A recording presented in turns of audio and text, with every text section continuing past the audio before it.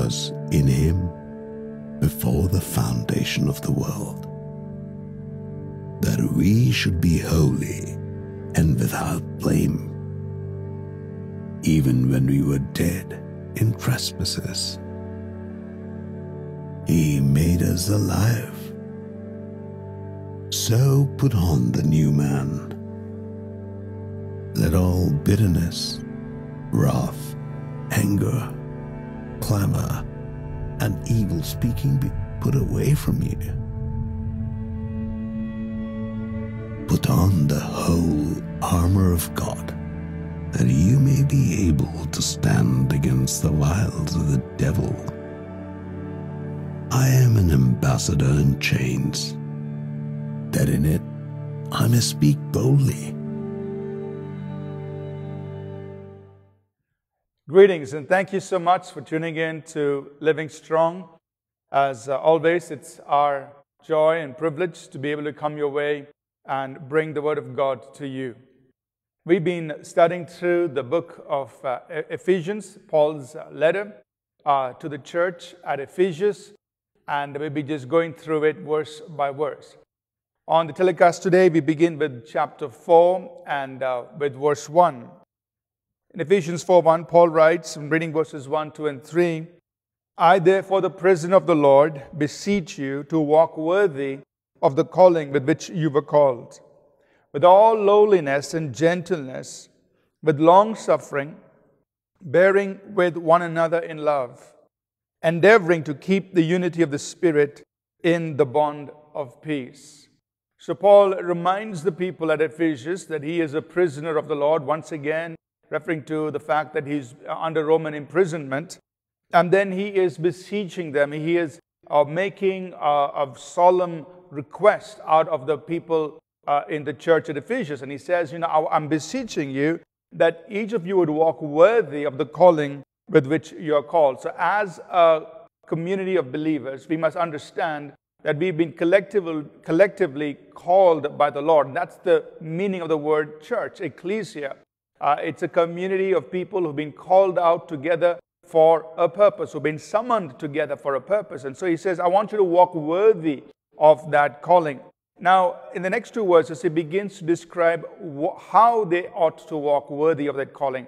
And, and then he talks about several different characteristics or behavior traits uh, that we should maintain so that we can walk worthy of our calling. He talks about being uh, walking in lowliness, that is, in humility or a humbleness of mind, humility of mind. He talks about gentleness. It's being gentle, not being harsh or rude, uh, not imposing, not domineering.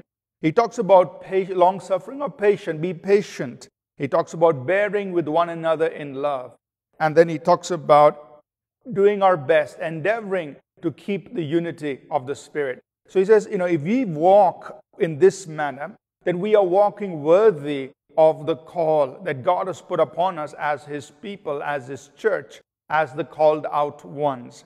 And then in verses 4 through 6, he enumerates seven reasons why we can all walk in this manner. He says in verse five, 4 through 6, he says, because, you know, he says, there is one body, one spirit, just as we are called, and one hope of our calling one Lord, one faith, one baptism, one God and Father of all, who is above all, through all, and in you all. So he mentions seven things. He says, you know, because we have we are common uh, in these seven things, we can therefore walk worthy of our calling. We can walk in this way. We can walk with lowliness and gentleness, bearing with one another in love, and being patient with each other, and maintaining unity because we are common. We have all of these things in common. We, have, we are one body. We all belong to the same church.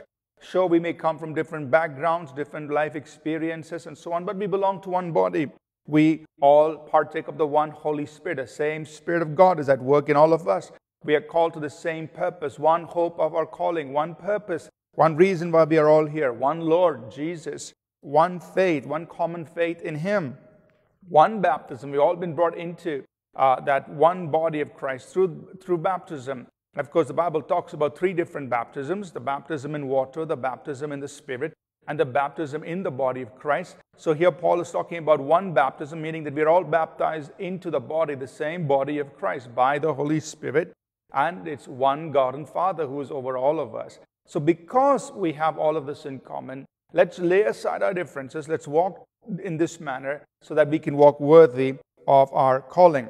So, having admonished the believers there at Ephesus in this very important aspect of learning to live together as a people, as a community, as, a, as, as people who are called out to the same purpose, now he begins to talk about gifts and empowerings that the Lord has put in the church.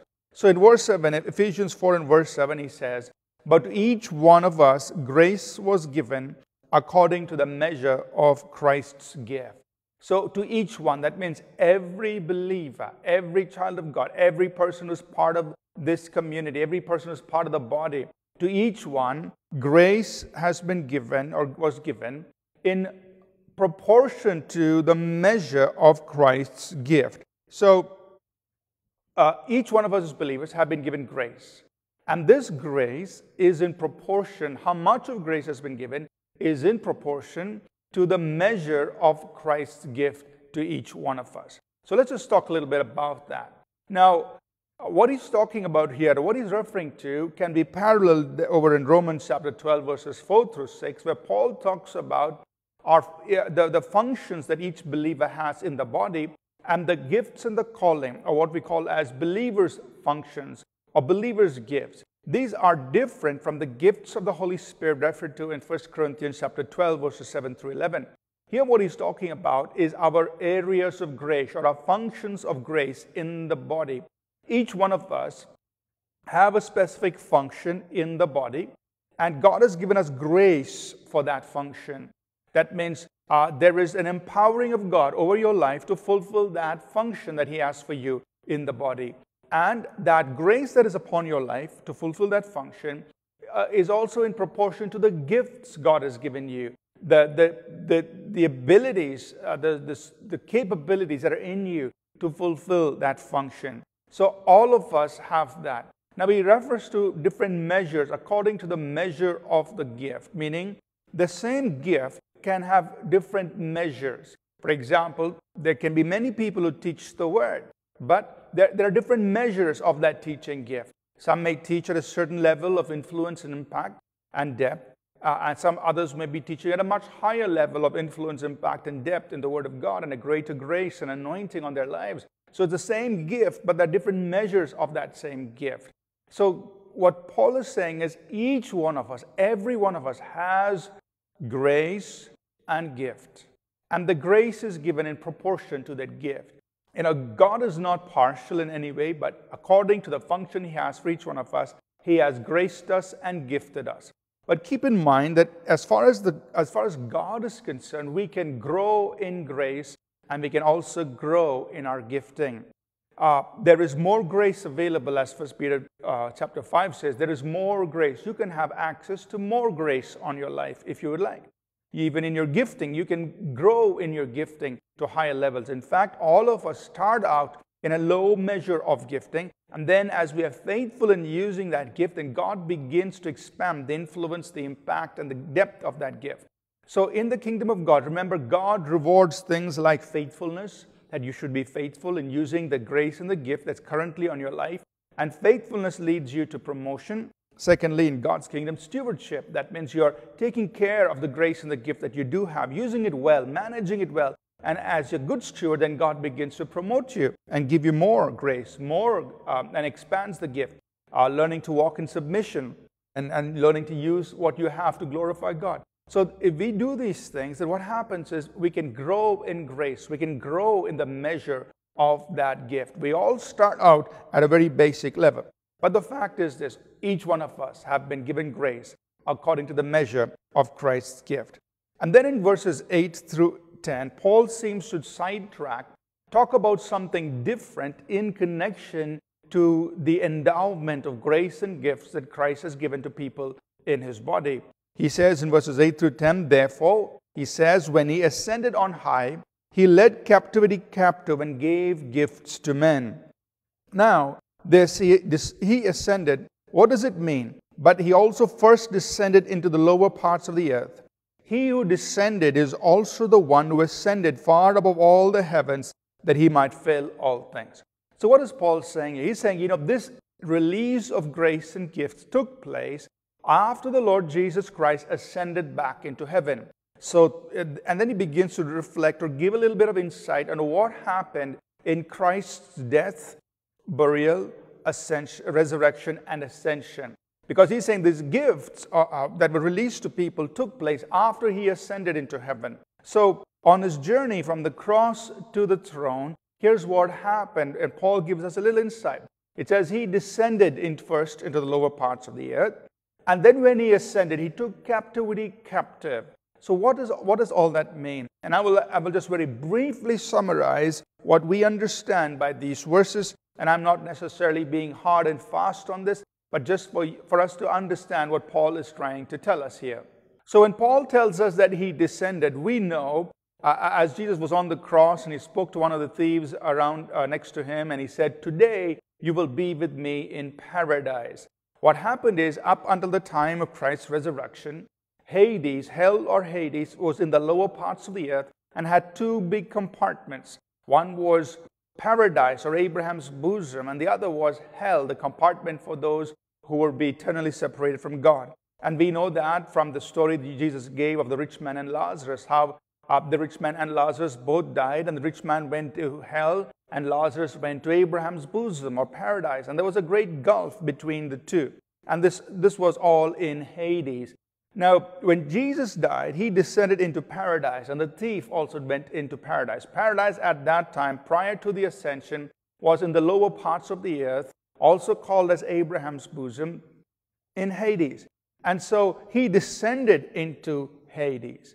And then when he, and up until that time, all the Old Testament saints, those who had faith in Almighty God and who were who, who received righteousness by faith, they were held uh, in Abraham's bosom in Hades. And when Jesus ascended, he took captivity captive. That means he took all of these saints, he took paradise with him, Abraham's bosom with him, and he ascended up into the heavens. And that's why when you come into the New Testament, whenever you read about paradise, you read about paradise not being in the lower parts of the earth, but you read about paradise being up in heaven. So Paul writes in 2 Corinthians 12 how he was caught up to the third heavens into the paradise of God. That's 2 Corinthians 12, verses 1 to 14. And also Revelation 2, verse 7, you see how paradise is in, uh, in heaven or in the presence of God. So that's what happened. When Christ ascended, he took all of the Old Testament sayings, he took them with him as he ascended up into heaven. And so this is what Paul refers to here. Uh, uh, when he says he ascended up on high, he took captivity captive with him when he ascended. And he's actually quoting from Psalm 68 in this passage. And then in Ephesians 4 and verse 8, he says, And he gave gifts to men. So when Christ ascended, what did he do? He gave gifts to men. I want to bring your attention to the Greek word used there for men. You know, there, is, there are two Greek words that are used for men, that are translated men. One is a gender neutral word, which generally refers to mankind or humankind. And then there is a very uh, gender specific word for man, which is aner.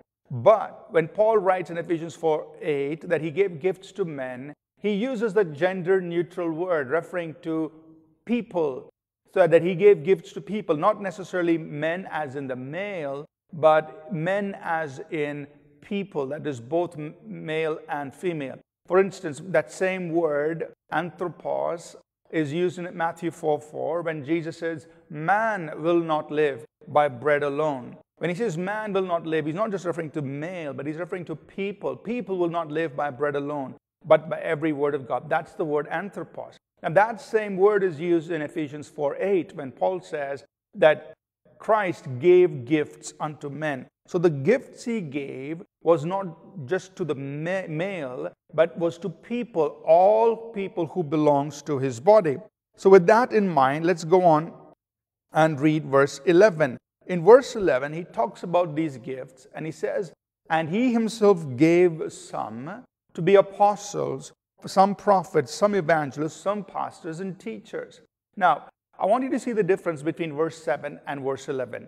In Ephesians 4 7, Paul says, To each one is given grace according to the measure of the gift of Christ. That means all of us, every believer, has received grace and gift. But then in verse 11, he says, And to some he gave. So now this section of gifts or endowments are given to some, not to everybody.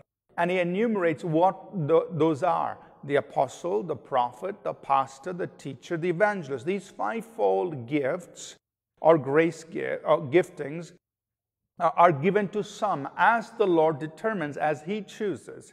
It's given to both male and female. So both men and women, people, God's people, male and female, can be called or given these gifts of apostle, prophet, pastor, teacher, and evangelist. Now, this is in the church even today. Now, you know, uh, uh, some people may not believe in the function of the apostle and the prophet, uh, and they may just, just limit themselves to the pastor, teacher, and evangelist. But actually, all five functions are in the church today. If we believe in the function of the evangelist and that of the pastor and that of the teacher, we should also believe in the function of the apostle and the prophet, because these all are gifts that Jesus gives to people in his church, in the body. Now, when you look at church history, you find that the church did go through a time that we call as the Dark Ages, somewhere between 400 to 1480, when many of these functions ceased. They, they ceased to function simply because people had deviated and gone away from the Word of God.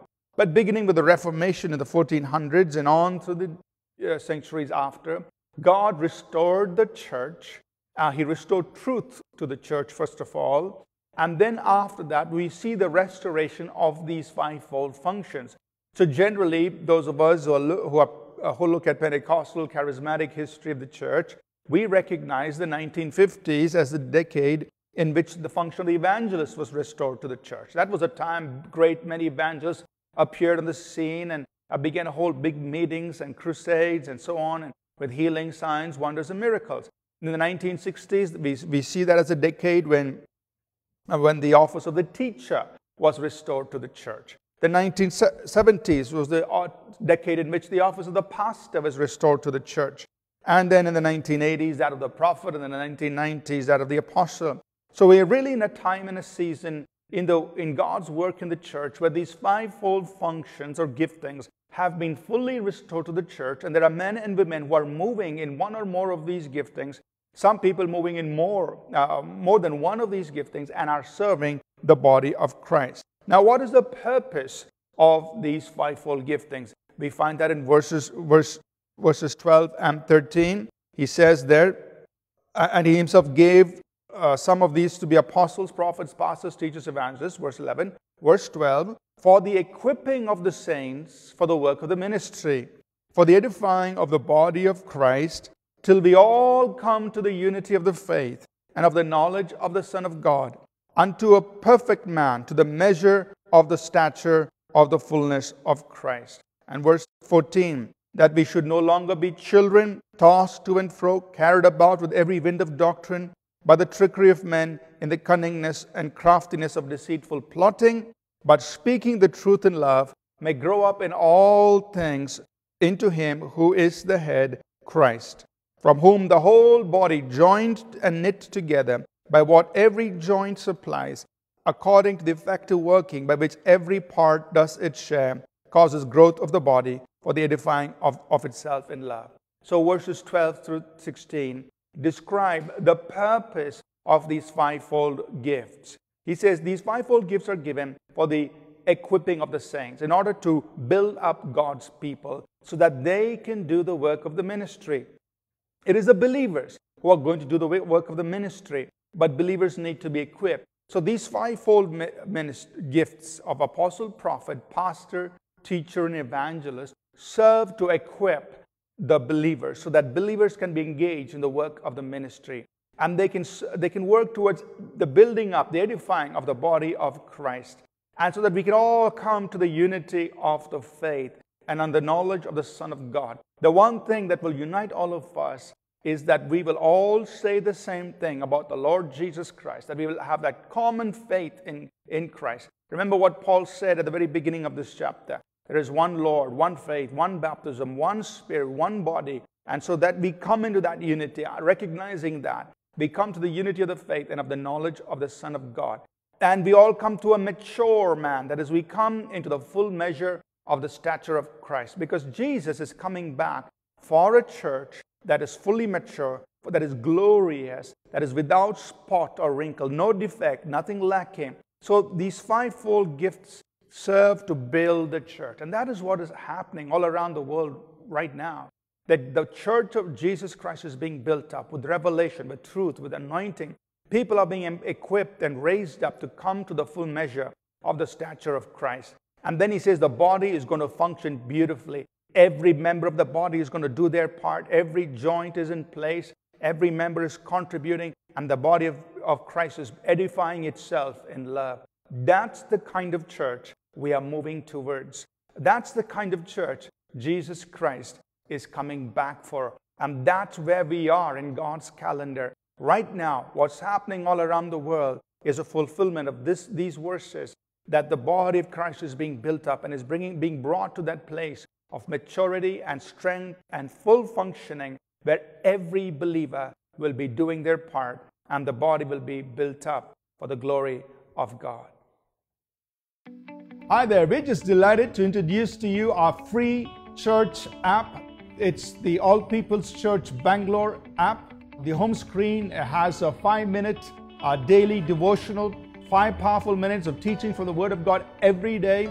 Uh, you can watch the video or listen to the audio. We also have a daily Bible reading and prayer guide. We call it Journeying Together, where we give you a portion of Scripture to read and uh, points to pray about, and we journey together through the Word of God, entire Bible, uh, once every two years. We also have a sermon key points, which is a five minute summary of the Sunday sermon. So, in five minutes, you get the key highlights of the sermon. We also have life group study guides that you use to study in your life group based on the Sunday sermon. The main highlight of our church app is what we call the toolkit, which has eight powerful sections filled with the Word of God for you. We have a section called Gospel with tools to help you share the gospel with your friends. We give you videos. We have a section called Reasons where we provide answers for commonly asked questions that you might encounter when people ask you, How do you know that God exists? How do you know that God created everything? Why do you believe Jesus Christ is unique? And so on.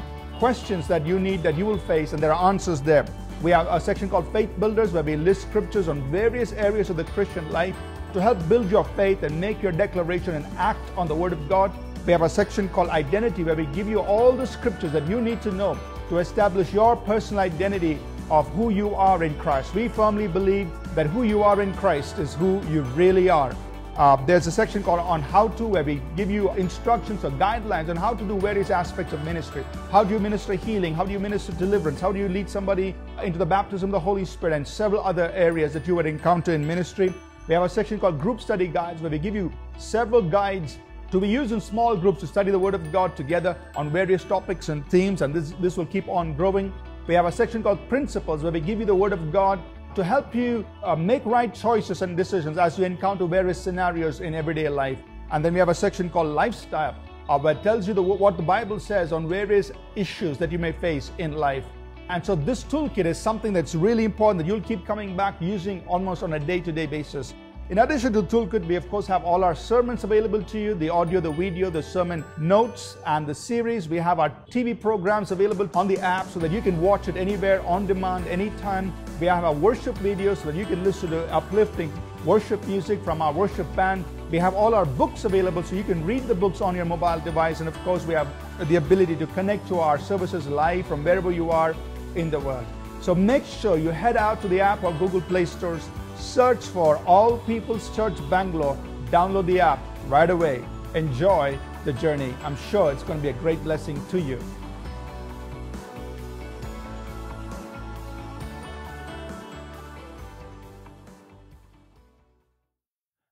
Before we close the program today, I'd just like to take a moment to pray with those of you who are watching. There could be some who are watching who, uh, who have never in their life made a personal commitment to Jesus Christ. You know, the Lord Jesus came preaching this message. He said, Repent, for the kingdom of God is here. You know, that's one thing we all need to do. We need to repent, that is, turn away from our own ways and surrender our lives to God and embrace His kingdom and become part of the kingdom of God. If you have never done that in your life, never made a decision to turn away from your own ways, your own life, hand your life over to Jesus Christ, the one who died for your sins, was buried, who rose up again, who's waiting to be your Savior and Lord and welcome you into His kingdom. If you've never done that, I want to take a moment to pray with you. I want to lead you in a simple prayer so that you can make that decision today. And also, right after that, I'm going to say a prayer. I'm going to pray for those who are watching, who may have various needs in their lives. And I believe that if you will join with me in faith and agree with me, I believe God's power will touch you right where you are, and God will release His healings and miracles and deliverances into your life. Uh, let's just take this time to pray together. If you want to make Christ as the Lord and Savior of your life, would you pray this prayer with me? Lord Jesus, I come to you. I repent of my own ways and I turn to you. I want to be part of your kingdom. I embrace you as my Lord and my Savior. Take my life and help me follow you the rest of my life. And I thank you, Jesus, for doing this. In Jesus' name, amen. And Father, right now I pray for every person watching. And in the name of Jesus and by the power of the Holy Spirit, I command healing to those who are sick. I rebuke every sickness, disease, and infirmity. I command wholeness and healing to their body and their mind. I break off every work of the devil and I release the power of God to bring wholeness in their lives. And Father, I pray you'll release miracles, signs, wonders of God to meet their needs, to turn around situations, to resolve, Lord, dead situations and circumstances and things that are locked down. Change those things in their lives, Father, I pray. And I thank you for doing this in Jesus' name. Amen. If you prayed the prayer with us today, you know, I want to encourage you to, uh, first of all, start reading your Bible. Take some time to pray every day. And I'd encourage you to become part of a good church in your area. Be a faithful member of that church because all the things we talked about will happen in your life only when you're part of a local church community. Thank you for doing that. And until next time, remember live life the Jesus way.